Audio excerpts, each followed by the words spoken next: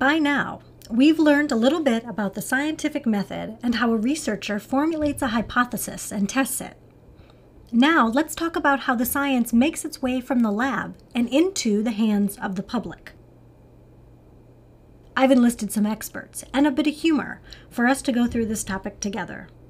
As you can see depicted in this comic here, the researcher is only present at the beginning of the process. Once her results are published, it's goodbye science and hello science media. You'll note that the faceless media and the internets are the culprits here. They take the science and shred it, passing it to and fro like a football from one outlet to another until it becomes something unrecognizable at the end of the cycle.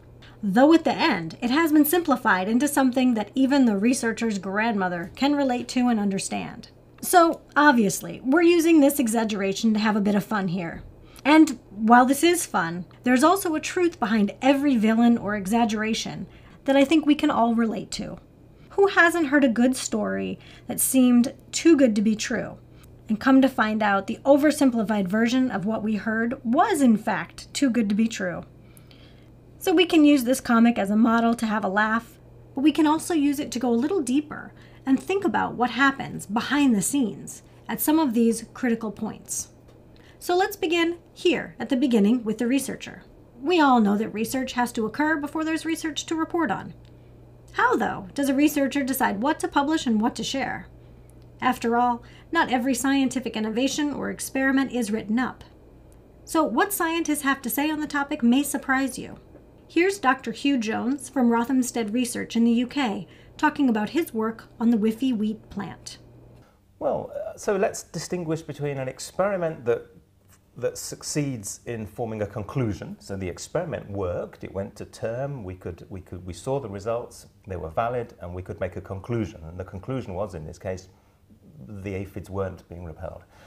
And that's different from having an experiment that, that has a conclusion that you don't like. And, and this is what we had. We had an experiment that went term, we concluded, and okay, it wasn't the conclusion that we wanted, that we hoped for, but it was an important conclusion because it, it stops this whole process being repeated again if you can publish the results.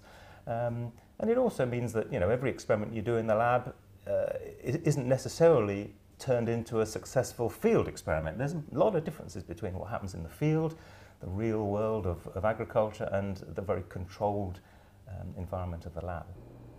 As Dr. Jones noted, though his experiment didn't end with the conclusion he hoped for, it was still an important conclusion. But publishing negative results in science isn't necessarily something news outlets look for.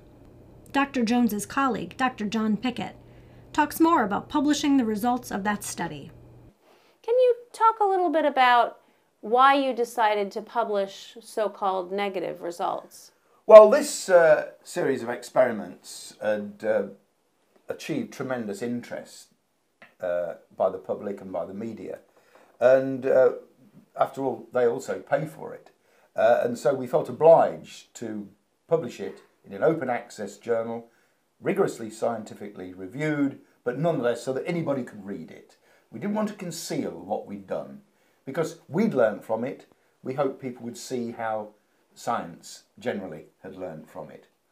Um, I think it's essential that when you have something like this, you do publish it. Of course, it's slightly more difficult because journals like to publish new positive results every time. So we probably didn't get it in the highest impact journal that we would have got it into if it had worked in the field.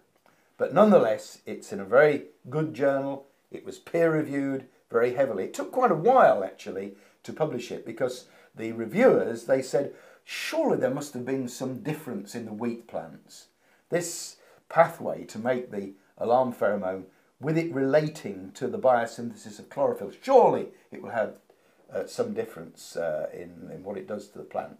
So we had to get some more evidence. We knew it didn't, but some of it was us knowing rather than us having put it all down uh, in, um, in statistically significant data.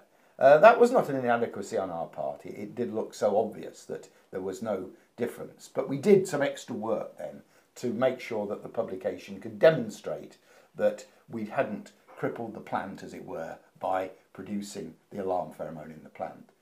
So we've heard from the scientists. But how do organizations decide which of the multiple stories that come their way every day do they want to pick up? Well, unlike what this comic would make us think, it isn't just the splashiest science. Nick Perkins runs an organization called SciDevNet that has original reporting on science from all over the world. And here's his approach to selecting science reporting.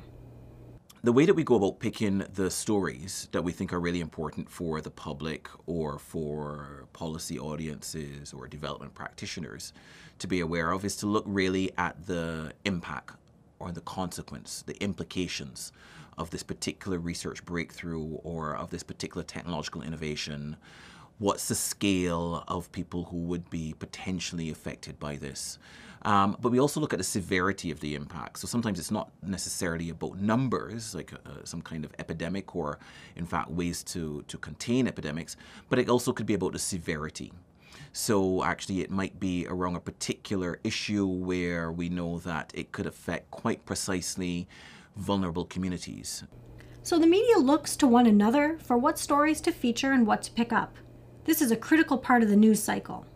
But behind every science media piece is someone, a journalist, who's trying to convey what the science is really all about in terms that we can all understand and relate to.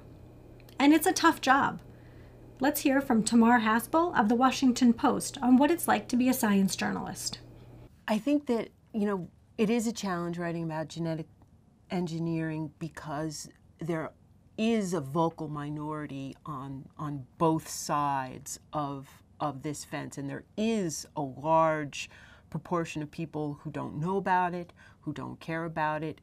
Yet I write for a general interest audience, um, and what I have to do, I think, to make that topic relevant to people is to try and give readers a basic understanding of these issues without going really far into the weeds and without, you know, trying to arbitrate this this minority versus minority fight because the issues are a little more straightforward than either minority would have you believe.